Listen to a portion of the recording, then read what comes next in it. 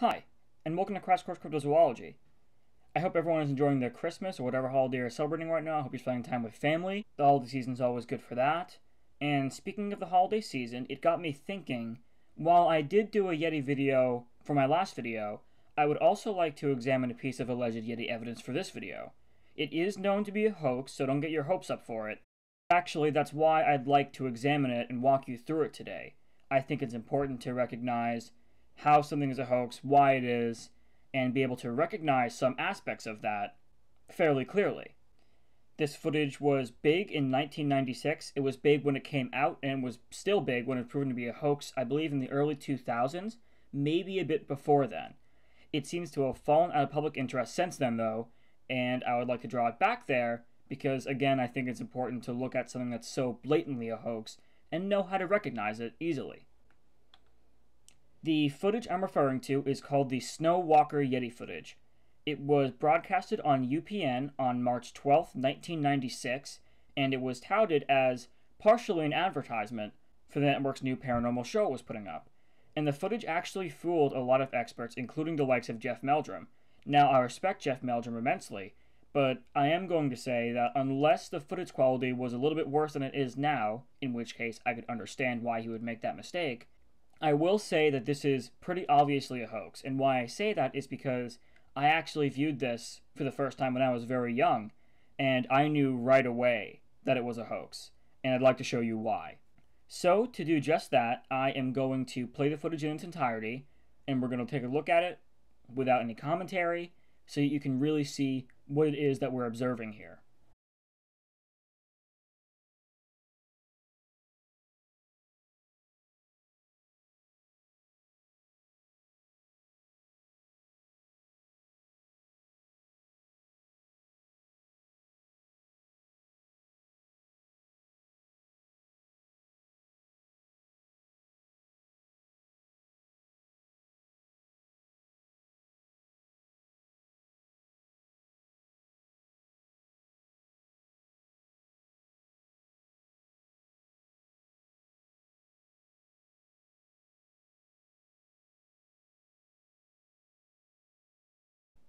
And that's the entire piece of footage. You'll notice that it is a stabilized version, which I think is going to help us take a really good look at this. The backstory of the footage is that it was sent in by a couple who claimed they had filmed a Yeti during a hike in the Himalayas.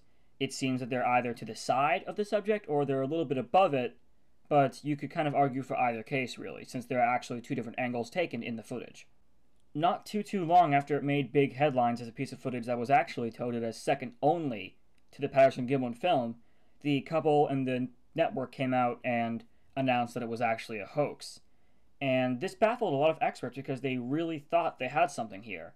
And I think that's due in part to the Bigfoot craze that had been launched in the 60s with the Patterson Gimlin film, well into the 70s and 80s and 90s, of course, and, you know, here we are now. But I do think some things were overlooked that really should not have been overlooked. Keep in mind this was filmed in 1996, or at least it was released then, and if it's a hoax, chances are it was also filmed in 96. The first thing that the subject really seems to do in the footage is it's climbing out of a snow embankment, and it seems buried in it. Now, I don't mean buried as in it's climbing out of a tomb of snow, but I do mean buried as in it seems odd to me that a creature that would live in that habitat would get themselves stuck like that. But animals get stuck all the time, so I suppose that's just me maybe being a little bit too picky with it. It's obviously an area with a lot of deep snow. I'll grant it that. Now, the second thing it really seems to do is it, it takes a look around. It moves its waist, it moves its arms a little bit, and it moves its head. Now, the head is going to become really important because when you get a better look at the figure, you get to a frame, actually a few frames. And when I saw these, when I first saw this piece of footage, I knew it was a fake. And let me show you why. I think we can all agree that this image from the video is incredibly clear, and even the stabilized version, it's even more clear. And what we're looking at does not look like an ape. The face is very flat, and the reason is because there's no face there. And let me explain that. You'll notice a few things about the figure that really point to it's not covered in hair or fur, so to speak. There is a difference in coloration with the arm than the rest of the body. There seems to be no face, but a black splotch is there. And this is the killer detail. There's a frill of white hair or fur around what would be the face. And I think we all know what that's a characteristic of. It's a characteristic of heavy winter coat, which obviously everyone wears when they're climbing the Himalayan mountains. And the lack of face can be attributed to the hood being pulled over the face. We're actually seeing the inside of the hood there. And of course, the arm coloration could be attributed to the coat color itself. So already, I would say this is clearly not an ape or an ape like creature. You could argue, well, some primates have frills like that. Fair enough. Show me an ape that does, that's a different story. And maybe an ape could. But since this is a hoax, it's been publicly announced as a hoax, in fact, I think that's what we're looking at here. We're looking at someone wearing a heavy winter coat trying to fool us. Now, right after that shot, we get to the next shot, which seems to be more from a uh, behind view of the subject, and we see it climb out of the embankment and it stands up. And the first thing that I can see that would fool some people is the conical head. I'll admit, there's a conical shape to the head, and that's a characteristic of great apes and also many Sasquatch and Yeti sightings. Fair enough. But it's also a characteristic of a hood that's pretty big being pulled over someone's head. Another thing that I noticed is when the creature starts walking, you actually see the length of its arms. And I'll admit, the arms look very long. This is very thought through. In fact, they stretch down to what appear to be the knees. But one thing you'll notice about the arms, especially in this frame here, it's not really that the arm is proportionately long. It's that the forearm is very long. And on a creature, the arm should be proportional to itself, especially if it's a primate. So what I think we're looking at here are arm extensions of some kind.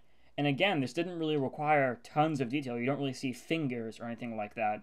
So an arm extension would not be hard to pull off like this. The elbow is just a little bit too high up that arm for me. And coupled with the idea that we just saw it wearing a hood, really, there's no face because the face is inside a hood, and now we're seeing arms that don't look right. This all points to it being a hoax, and lo and behold, it's a hoax. Most likely someone wearing some maybe crude arm extensions and a big winter coat.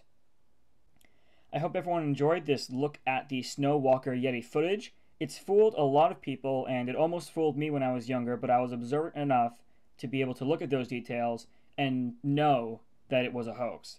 And I hope that this opens up the doors for people to be a little more observant as well, because it's all well and good to have an open mind, believe me. But you should have it open enough to recognize when something isn't real. I hope everyone enjoys their holidays. And that being said, until next time.